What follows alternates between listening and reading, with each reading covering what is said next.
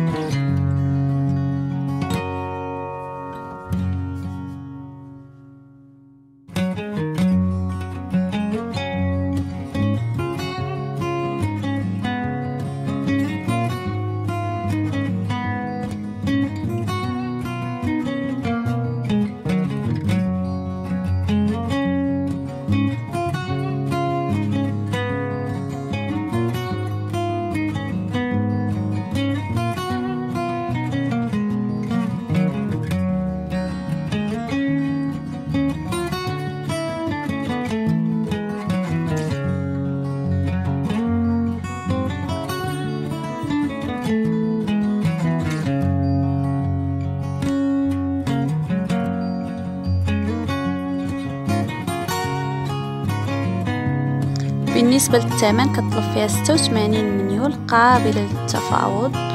واللي بغاها مرحبا